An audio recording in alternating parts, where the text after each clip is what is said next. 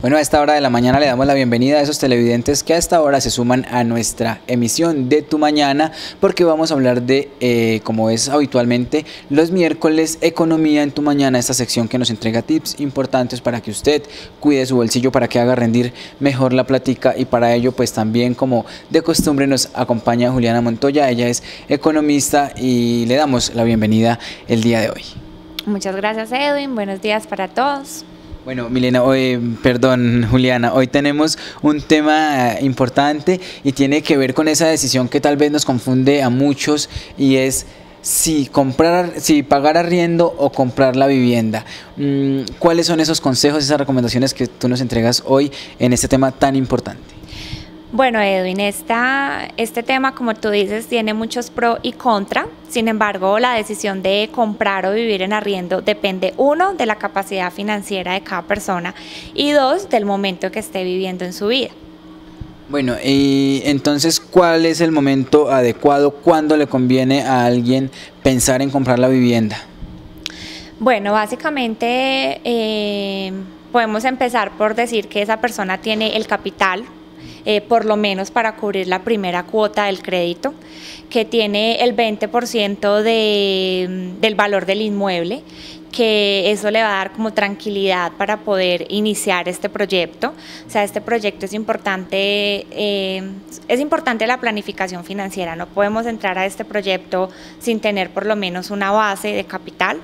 Eh, asimismo, es importante no tener otro tipo de deudas, o sea, es importante saber que nos vamos a enfocar eh, por lo menos en un 80-90% a cubrir este crédito hipotecario o leasing, depende de la manera como, como se adquiera a la vivienda y no tener otras deudas como, no sé, de consumo, otras deudas de estar pagando un préstamo estudiantil o un automóvil, sino enfocarse 100% en pagar el crédito hipotecario. Bueno, además que Juliana, hay otras ventajas que uno podría, podría identificar, por ejemplo, que ya no tiene que preocuparse por eh, el dinero mensual para pagar un arriendo, sino que ya de pronto es o para pagar su cuota o después de que pague su casa, pues va a tener ahí un dinerito extra. Eso sería una buena ayuda. Claro que sí, o sea, después de nosotros tener eh, la casa de ya saber que es algo nuestro, podemos invertir ese dinero en otras cosas. Entonces nos va a dar, eh, va a mejorar tu estilo de vida porque podrás dedicarte a viajar o podrás comprar el carro que quieras. Pero lo importante en este, en este caso es, como te digo, tener esa planificación, tener ese capital y no tener otros tipos de deudas que puedan atrasar tus pagos en el crédito. Sí, de, pronto lo que uno más considera y le preocupa a la hora de, decir voy a comprar una vivienda es que tenga que hacerlo prestando dinero en los bancos o de alguna manera pues financiar eso. Eh, yo, yo también considero pues que ahí es importante primero lo de la cuota que tú decías, tener esa plata para que las, las demás cuotas mensuales pues queden mm, a precios considerables, ¿no? Y lo otro es que uno también se puede programar de acuerdo a eso, a que entonces como viene de pagar arriendo y compra su casa, pues la plática que estaba pagando arriendo también la deja ahí para pagar la cuota, ¿no? Claro que sí, o sea, una manera de común que vemos es que compramos un apartamento y lo arrendamos y escuchamos el se paga solito.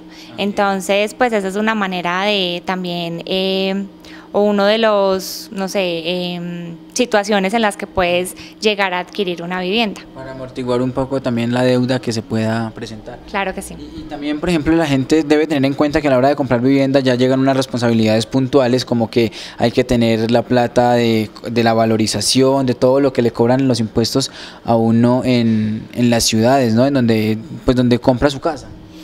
Sí, o sea, eh, adquirir vivienda viene con impuestos que están ligados y no vamos a poder eh, zafarnos de ellos, que son el predial y bueno, no sé qué otro tipo puedan haber, pero pues son situaciones que ya están, eh, como te digo, ligadas a lo que es una vivienda propia. Pero para adquirirla inicialmente es contar con el capital, ya sea la primera cuota o el 20% del valor del inmueble, no tener otro tipo de deudas y pues saber que a futuro puedes invertir ese dinero en otras cosas que desees. Claro, eso para tener como la tranquilidad y la seguridad de que va a salir bien entonces el desenlace final de esa compra de la vivienda. Pero ¿cuándo le conviene a alguien mejor quedarse eh, viviendo en arriendo? Bueno, Edwin, básicamente si eres una persona joven que se acaba de independizar, eh, que no tiene muchos ingresos, pues que apenas está construyendo un capital, pues eh, fundamentalmente le conviene estar en pagando arriendo, o sea, pues porque no podemos endeudarnos y tampoco tenemos la capacidad financiera para hacerlo. También si estás en pareja y no sé, decides tener un hijo, pues hay que tener presente que un hijo va a implicar otros gastos, eh, la manutención del bebé, la salud, la, bueno, la alimentación, la ropa y pues esas cosas digamos que junto con un crédito hipotecario puede llegar a ser un poco estresante. Entonces no puede ser el momento adecuado para pues para adquirir la vivienda o adquieres la vivienda antes y la pagas y después tienes tu bebé o tienes tu bebé y después adquieres la vivienda. Sí, o además que por ejemplo esto nos remite al caso anterior donde sí, cuando ya uno piensa en comprar la vivienda y es que muchas veces los jóvenes, por lo menos en este país, salimos con las deudas de los bancos por haber estudiado la carrera universitaria, entonces ahí también, digamos, eso nos impide y es, y es recomendable tenerlo en cuenta. Claro que sí. Bueno, otra recomendación puede ser... Eh, cuando lo que hablábamos también anteriormente, cuando uno adquiere vivienda ya se preocupa por otro tipo de gastos como los impuestos, eh, cuando no pagas un, o cuando estás viviendo en arriendo solamente te preocupas por el canon mensual y por pagar los servicios públicos. Entonces puede ser pues para el que no le gusta estar preocupado por impuestos una ventaja. Sí, y que también, por ejemplo, otra ventaja, posibilidad de vivir arriendo es que si uno es joven y de pronto quiere movilizarse o irse a otro país, o otro país, otra ciudad, moverse un poco, de pronto experimentar más cosas, pues la vivienda propia lo ataría más, mientras que el arriendo no. Sí, claro, te da esa libertad de movilidad, como tú bien lo dices, de poder desplazarte, que ya no me gusta vivir acá y quiero vivir allá, pues entonces me voy. Pero finalmente, eh, como decíamos al principio, esto depende tanto de la capacidad financiera de las personas como del momento de vida que estés viviendo. O sea, es una decisión eh, ya personal y pues una decisión que depende de, sí, de tus condiciones. Sí, Julián, haciendo aquí un poco la, el análisis entre, digamos, las ventajas del de, arriendo y, de la, y las ventajas también de la vivienda propia, olvidamos decir algo que me parece que es importante, que vale la pena retomarlo, y es que, por ejemplo, la vivienda propia nos permite a nosotros como empezar una vida, o, no, como, como diríamos, como tener un respaldo para adquirir créditos, para, para una vida crediticia. Eh, más que sí, obviamente también va ligado a eso, pero tener una vivienda propia es ir creando un patrimonio. Entonces, pues eh, creo que la mayoría de nosotros deseamos ese patrimonio, o sea, llegar a cierta edad y poder tener algo estable. Eh, algo que dejarle a nuestros hijos, algo que heredar y pues qué más que la vivienda. Entonces, eh, pues yo creo que sí, bueno, depende también de, de tus aspiraciones, de si realmente tu patrimonio quiera empezar por vivienda o puedes tener patrimonio por otro lado, una empresa o algo así, pues ya depende de, ti.